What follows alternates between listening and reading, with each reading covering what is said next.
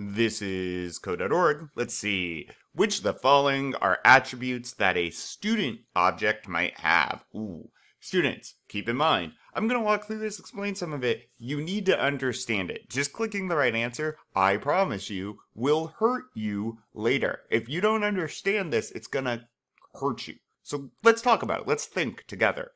All right. So, which of the following are attributes that a student might have? Interesting. So, how would we define an attribute? And if you're going to say, I don't know, we've never talked about this, ta through the magic of the internet, uh, yeah, yeah, we have. But let's take another look. An attribute is a characteristic of an object.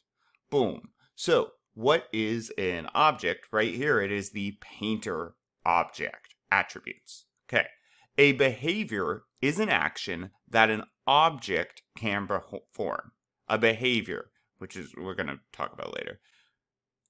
Behaviors, right? So these are actually going to be methods. We'll be learning what these behaviors do in upcoming lessons, but right now it's important to understand attribute is a characteristic of an object.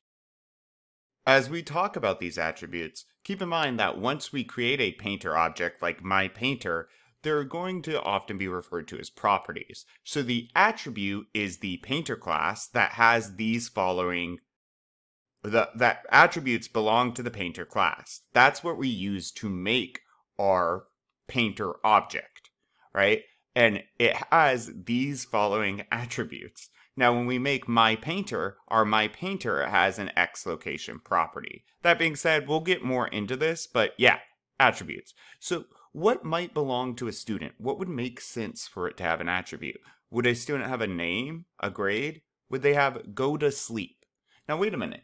What did we just say? There are behaviors and there are attributes. Which would you describe as a behavior?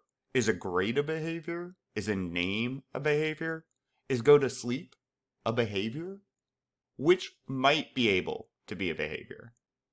Right? Attributes are things like, for instance, name, age. Um, if you're talking about a color pattern, it could be a color code, things of this nature, right? They're properties of our instantiated objects. So that being said, I would guess go to sleep is more like a behavior or a method. So, ta if that didn't make sense, please go back through this. You need to understand this stuff. All right, onward.